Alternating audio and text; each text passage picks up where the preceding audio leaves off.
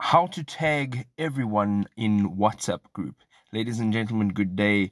I hope everyone is well. I am in a WhatsApp group now, and this is the WhatsApp group. And um, there are a few members here, but if you want to go ahead and tag all of them or only some of them, I'm going to show you exactly how to do it. Let's jump straight in. The first thing you want to do is go over and make sure in your Play Store that all of your WhatsApp apps are um, up to date. If you're using WhatsApp Business or WhatsApp uh, just regular WhatsApp. So you're going to go now and open up your chat and you're going to type in the dot full stop and you are going to go ahead and type in tag admin.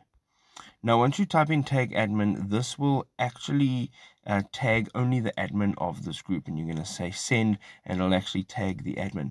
The second way you can actually do this is typing dot and tag non-admin. So you can go tag non-admin and tag non-admin and you can go ahead. You can send that and this will now tag everyone in the group that is not an admin.